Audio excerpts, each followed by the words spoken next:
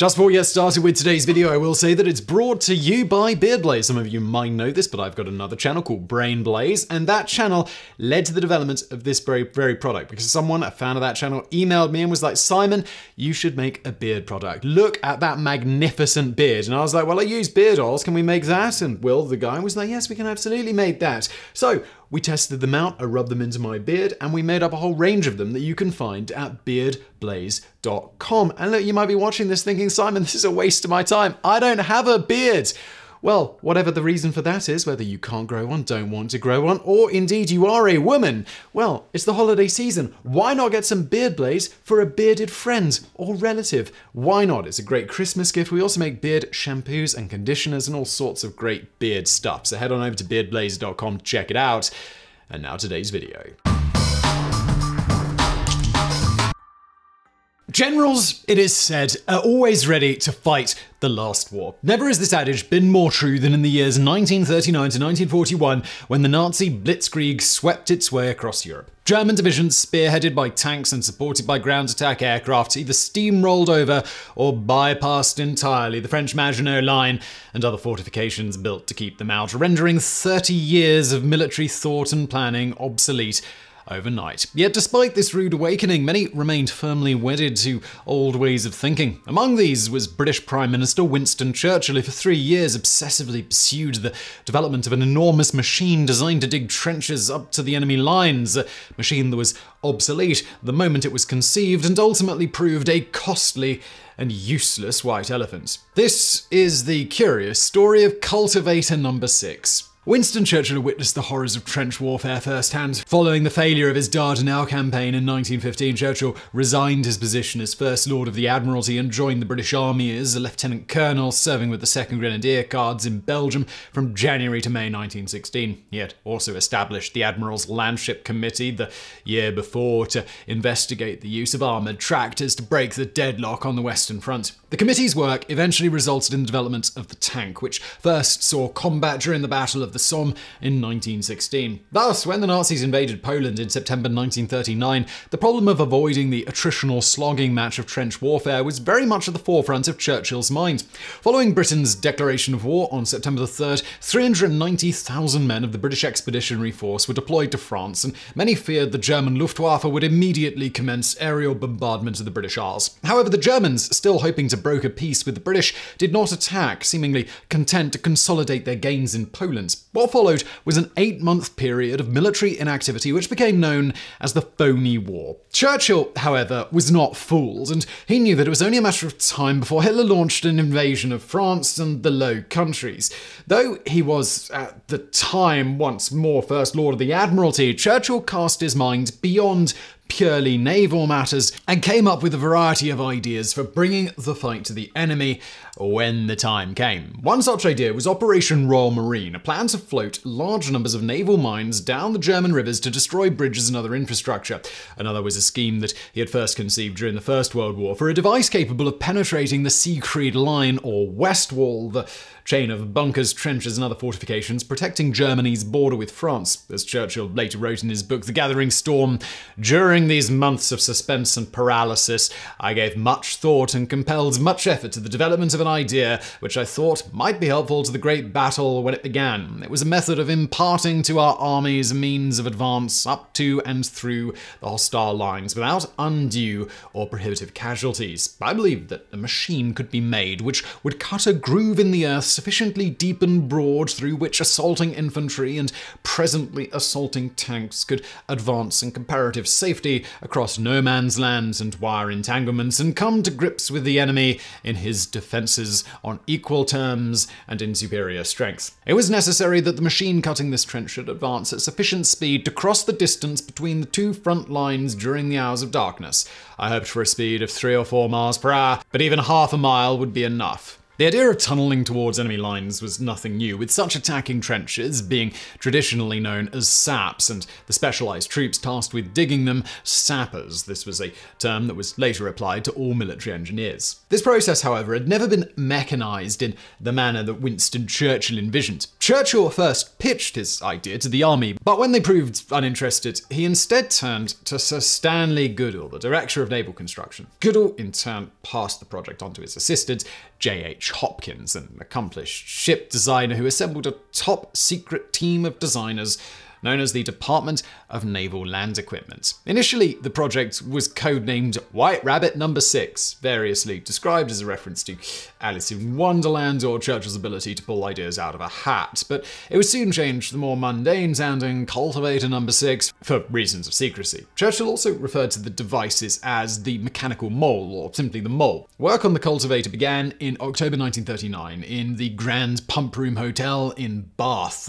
temporary home of the Naval Construction Department under the direction of engineer Frank Spanner. The challenge facing Spanner was formidable. While on paper, the cultivator's task was simple to cut a trench 7 feet wide and 5 feet deep, but aside from an experimental World War I German vehicle called the A7V, something extremely unpronounceable and long in German, LMG, nothing like it had ever been built before. And even then, the German device had no armour and operated almost entirely on the surface and could thus only be used to dig trenches far behind the front lines. For three months, Spanner experimented with a variety of digging mechanisms, including a chain and bucket system like that used on the A7V and German Operbit coal mining machines, and a large cylindrical cutter similar to modern tunnel boring machines, until he finally homed in on the most efficient configuration. His final design was driven forward on caterpillar tracks like a tank and used a land wedge shaped plough to remove the upper two and a half feet of soil and a horizontal rotating drum cutter to excavate the lower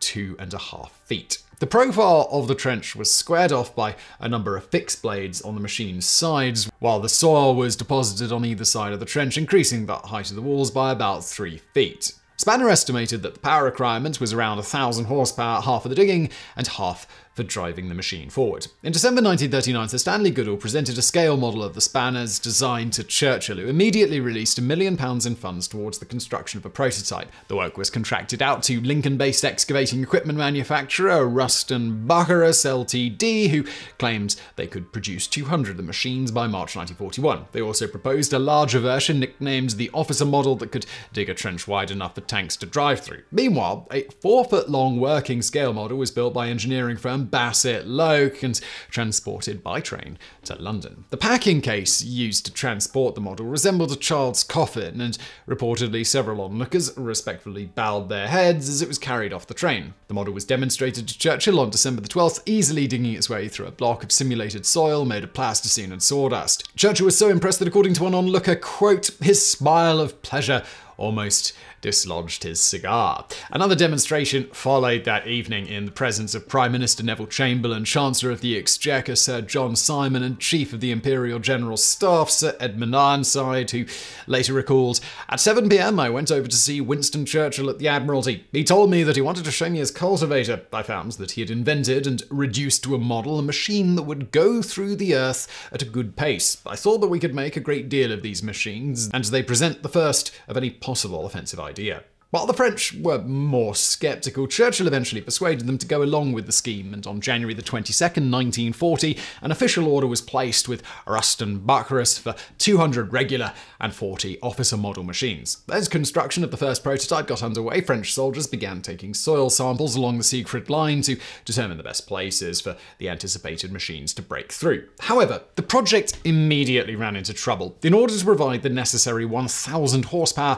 Frank Spanner had intended to use use the Royal Air Force's new state of the art Rolls Royce Merlin V12 engines. Unfortunately, the RAF had earmarked all Merlins for use in aircraft, leaving none available for the Cultivator project. The next best alternative was the 12TP, a lightweight 12 cylinder diesel engine built by Colchester based firm Davey, Paxman and Co.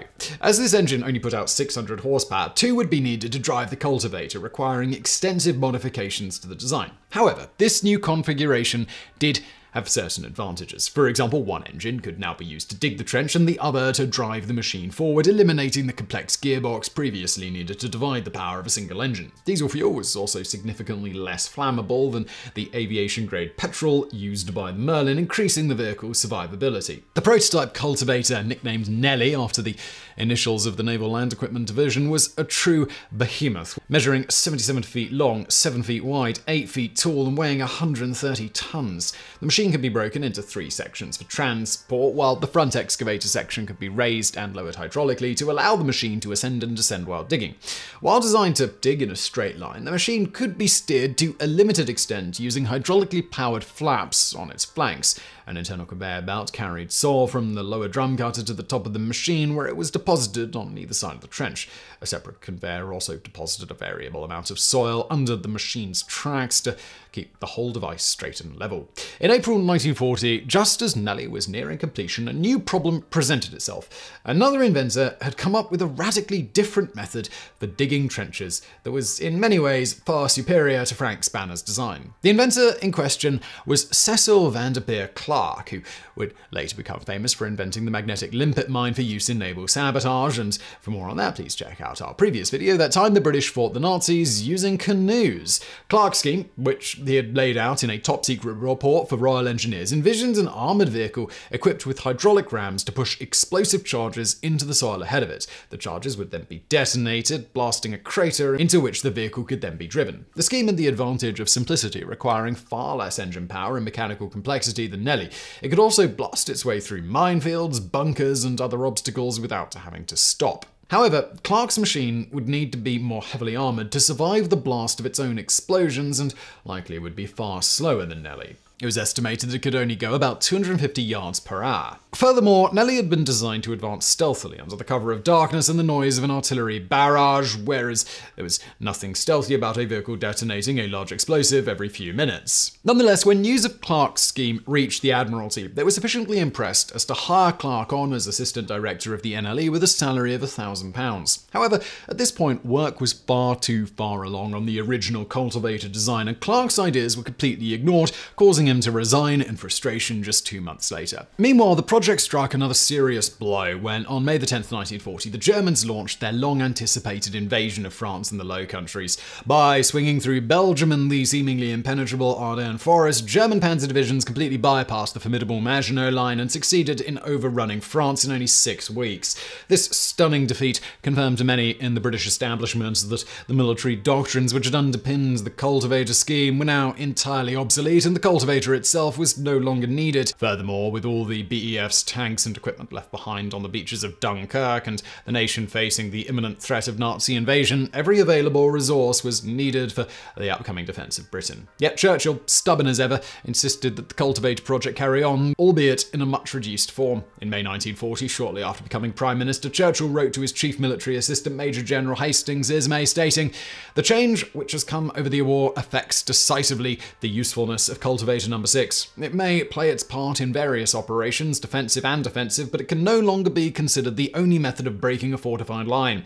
I suggest that the Minister of Supply should today be instructed to reduce the scheme by one half. Probably in a few days it will be one quarter. The spare available capacity should be turned over to tanks. Churchill's reasons for continuing the cultivator project in spite of its obvious obsolescence are debated to this day. Historian John Turner ascribes his dogged persistence to his initial failure to get his mole idea approved during the First World War. Whatever the reason, development of the Nelly prototype, now officially the NLE trenching machine Mark I, carried on, the machine finally being completed in April 1941. In May, Nelly was transported to Clumber Park, Nottinghamshire, for testing by the 769th Company Royal Engineers. The abandoned former estates of the Duke of Newcastle, Clumber Park was not only far from prying eyes, but had soil conditions similar to those of northern France. To Churchill's delight, the machine performed exactly as designed, easily chewing its way through the soil at a speed of 3,500 feet, or around three quarters of a mile per hour. But the machine was far from perfect. For one thing, the conditions inside the machine were unbearable. The heat and fumes nearly caused the three man team to pass out after just a few minutes of digging. The machine also proved extremely difficult to transport, requiring the Royal Engineers to develop special heavy duty tracked trailers to move the three disassembled sections. Meanwhile, doubts mounted as to the practical utility of the machine, with observers pointing out that the lumbering cultivator would be easy prey for German dive bombers. As a result, the government order was reduced from 33 to only 9 machines.